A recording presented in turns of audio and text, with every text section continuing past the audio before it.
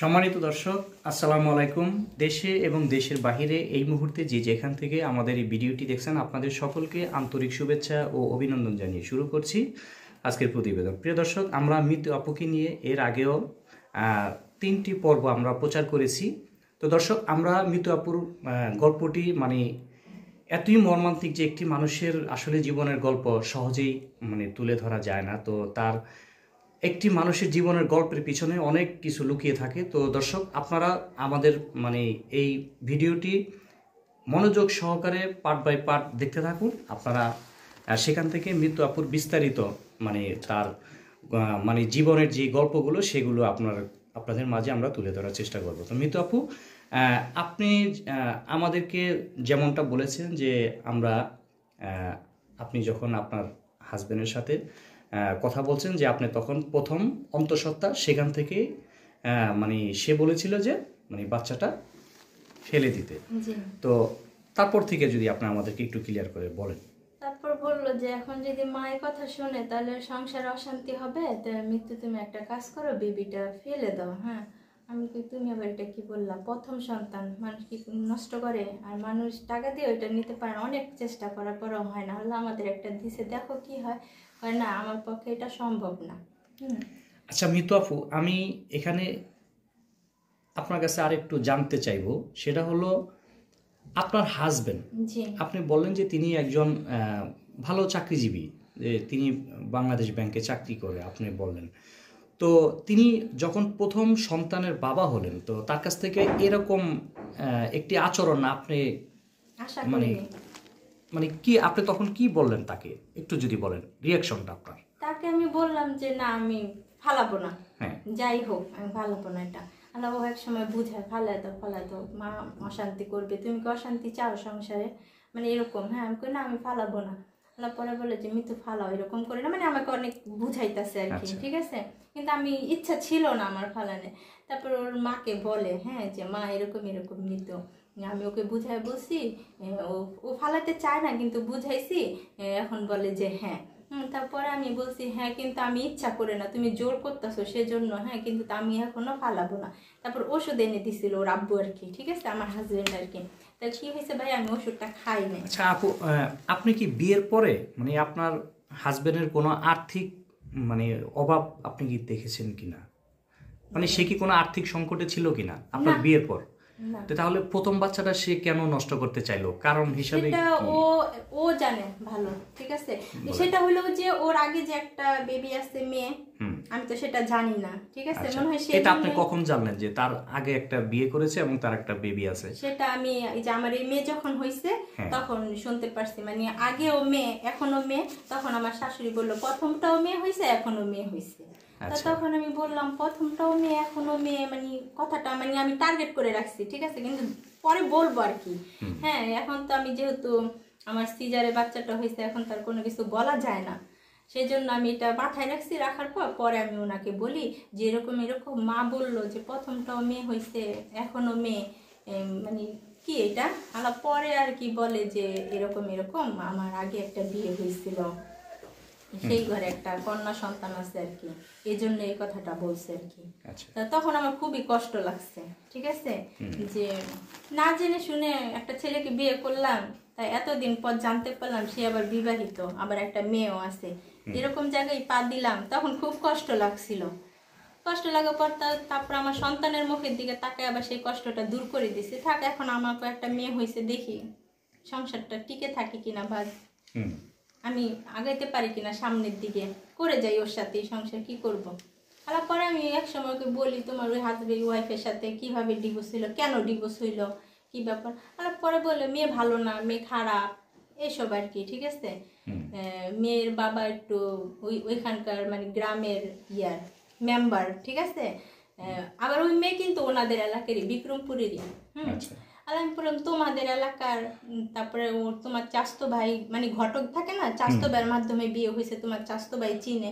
তারপরে তোমার বিয়েটা টিকে থাকল না? কয় না টিকে থাকল না। আমি আচ্ছা ঠিক আছে থাক মেনে নিলাম আর কি। তো এইভাবে। আর আমার প্রথম বাচ্চাটার কথা বললাম না বেবিটা নষ্ট হয়েছে ওর আমার হাজবেন্ড ওষুধ এনে দিচ্ছিল আমি খাইনি।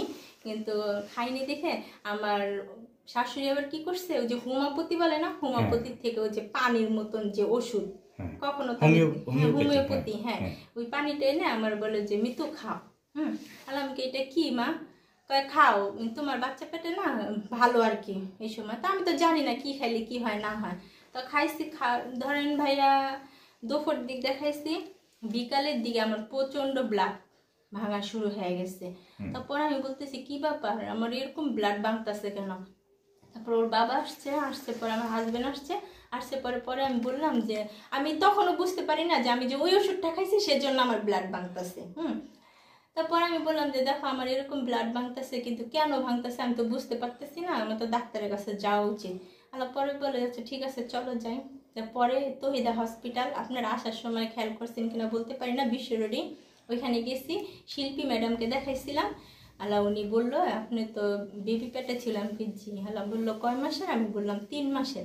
আলা পরে বলল আপনি কিছু খাইছেন? মানে ওষুধ কিছু? আমি সত্য কথা বলছি ডাক্তারের কাছে যে আমাদের এটা ফালানোর চিন্তা ভাবনা ছিল আমার হাজবেন্ড আমাকে ওষুধ এনে দিয়েছিল আমি খাইনি ফালিয়েছি খাননি এমনি কিছু খাইছেন? আমাকে এমনি কিছু খাইতে আমার শাশুড়ি আর কি আমাকে ওই যে হোমিওপ্যাথির একটা পানি ছোট বোতল এনে দিয়েছিল বলছিল খাও গর্ভ হলে খেতে হয়। মানে এসব।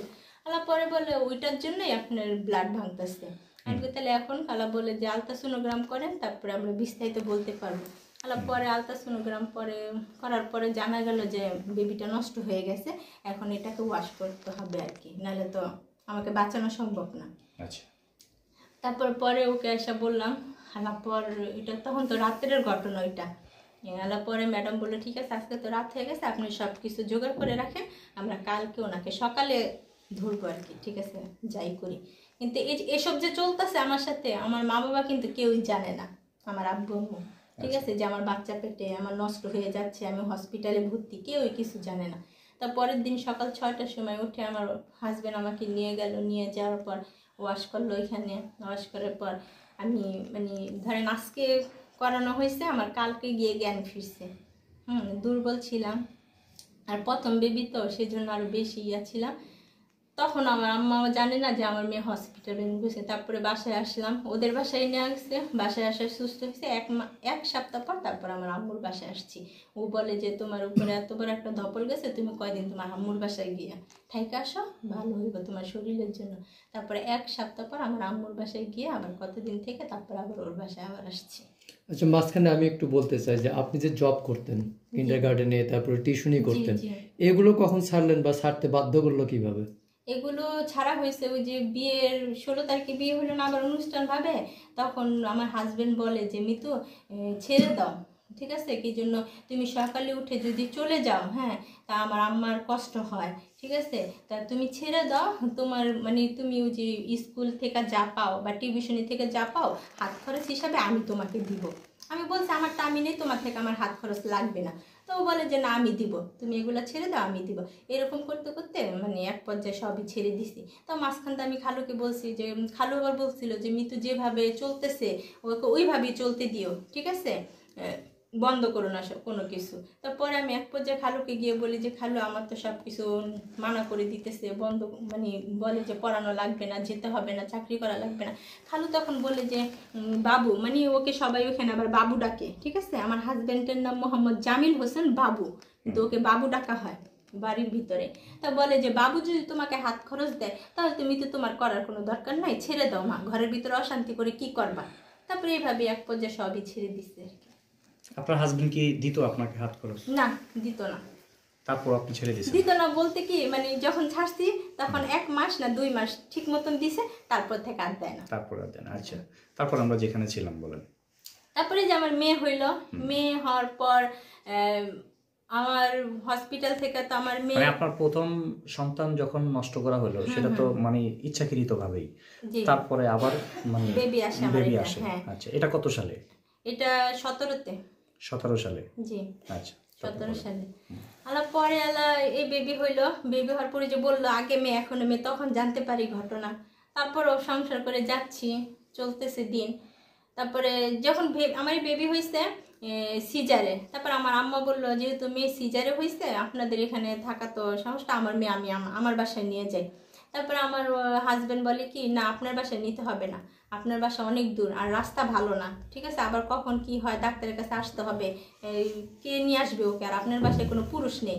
বাবা অফিসে চলে গেলে কে নিয়ে আসবে? আর আমার এখানে আমার খালুরা আছে খালারা আছে আমার মা আছে বোন আছে এইসব দেখায় ওনাদের বাসায় রাখছে আর কি। তাই রাখার পর আমার মা যেহেতু ওনাদের বাসায় রাখছে তখন তো আমার ছোটি যেটা বলে তা তখন তো আমার আম্মু যেতেই হবে আমার কাছে। বলেন যেতে হবে না? তখন আমার আম্মু সকালে যেত। ঠিক আছে? সকালে যেত বিকালে আসা পড়তো। তো বিকালে আসার পর আম্মু কিন্তু আমার আম্মুর বাসা থেকে নাস্তা করে যেত। আর বিকালে রাত্রে তাই সেই আমাদের বাসায় করতো। খালি দোপরে শুধু আমার শ্বশুর বাড়িতে খেত আর কি ঠিক আছে? তা সেখানে আমার আম্মু একুশ দিন আমার ওইখানে এরকম আসা যাওয়া করতো। একুশ দিন ছিল তারপর থেকে আর আমার আম্মু আর যায়নি। কি জন্য যায়নি? আমার হাজবেন্ড বলে কি মানে কথা কাটাকাটি হচ্ছে মানে বলতেছে কি জানি মেয়ে হয়েছে মানে কোনো কিছু মানে বলতেছে দিল না সেটা আর কি বলতেছে হুম। আল্লাহ আমার আম্মু কথা ছিল যে চল্লিশ দিন হোক তারপরে দেখুক আমরা দেই না না দেই বা আমাদের বাসায় যাক তারপরে আমরা আমার নাতিনকে সাজাই দিব তাই না? এখানে দিব কেন? এটা। তো এরকম কথা কথা বলে কি তোমার মা না বসে বসে একুশ দিন আমার বাসায় মানে খাইয়ে গেছে, কোনো কিছু দিয়ে গেল না মানে একটা খোটা দিয়ে দিছে, বুঝছেন? আর আমি বলছি, আমার মা একুশ দিন কি তোমার বাসায় বসে বসে যে খাইয়ে গেছে, আমার মা কি মানে ইচ্ছা করে এসে গেছে? আমি আমার ছুটি পড়ছে, সেজন্য আসছে, নাহলে তো তোমার বাসা আমার মা আসতো না, তাই না? সেজন্য আর তুমি যদি আমাকে যদি আমার আম্মার বাসায় রাখতে চাও তো আমার মা তোমাদের বাসায় আসতো না। এভাবে। তারপরে চল্লিশ দিন পর আমার আম্মার বাসায় পাঠাইছে, পাঠানোর পর আমার আম্মা আমার মেয়েকে একটা চেন দিছে আর আমার ভাইয়া হাতে চুড়ি দিছে আর এমনি খেতাবালির যা লাগে সব যাবতীয় দিয়ে দিছে আর কি। আচ্ছা। মানে আপনাদের সংসারের যে মানে মূল অশান্তিটা শুরু হয় সেটা কোন জায়গা থেকে? মূল অশান্তি শুরু হয় অশান্তি বলতে ও তো পিছিয়ে থাকে ও আর কতক্ষণ করবে আমার সাথে অশান্তি বুঝেন না? হ্যাঁ। রাত্রে আসে যতটুকু সময় থাকে এতটুকুই। কিন্তু এর বড় সমস্যা ওর মা। ঠিক আছে? ওর মা। ওর মা উঠতে বসতে কালী যেটা আপনাদের বসি কালিনী ডাকে ঠিক আছে আমাকে? কালিনী একটা বিয়ে করে নিয়ে আসছে মানে এসব আর কি। তারপরে কিছু দেয়নি শ্বশুর বাড়ি থেকে ছেলেদের বিয়ে করলে কত কিছু পায় নিয়ে আসো নাই কেন? এসব আর কি বলে আর কি আমার শাশুড়ি। তারপরে খাওয়া দাওয়ার কষ্ট ঠিক আছে? উনি যেটা যে ধরেন সাপোজ রান্না করছে হুম? ওনাদের সবার জন্য মাছ হিসাব করা। আবার ওনার ছেলে সকালে নিয়ে যাবে, সেটাও হিসাব করা। কিন্তু আমি যে কি খাব, সেটা দর্শক, আমরা শুনছিলাম মিতু আপার ফ্যামিলির গল্প এবং তিনি তার পরিবারে যারা আছে, তাদের গল্প শুনছিলাম, শাশুড়ির গল্প শুনছিলাম। দর্শক, আমরা হাতে একেবারেই সময় নেই। আমরা তার যে গল্প, সে গল্পগুলো আমরা ধারাবাহিকভাবে অন্য কোনো দিন হাজির করব। সে পর্যন্ত সবাই ভালো থাকবেন, সুস্থ থাকবেন। মিতু আপা, আজকে আমরা বিদায় নিচ্ছি। অন্য কোনো দিন আপনার বাকি গল্প শুনব এবং দর্শক আপনার গল্প শুনতে চায় অবশ্যই আমরা শোনানোর চেষ্টা করব। জি আল্লাহ হাফিজ। আজকের মতন বিদায় আল্লাহ হাফেজ।